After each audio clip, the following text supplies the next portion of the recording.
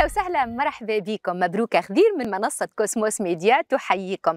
فيلم الأحمر اللي فاز بالجائزة الدولية للأفلام الاستقصائية ذات الأبعاد البيئية التي تتتبع الجرائم البيئية داخل المحيط البحري.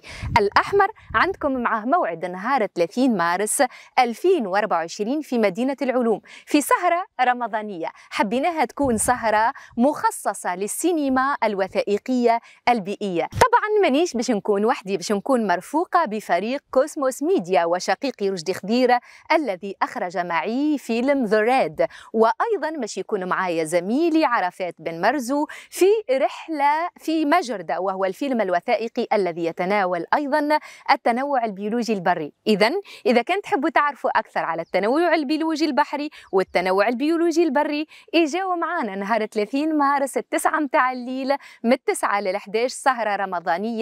بعبق الفيلم الوثائقي البيئي في مدينة العلوم. إجاو ما تندموش لأنه الأفلام اللي باش يتم عرضها أفلام غزيرة من حيث المعنى ومن حيث المغزى برؤية فنية جميلة جدا باش تكتشفوا بها برشا برشا معلومات على عالم البحر عالم المرجان الأحمر.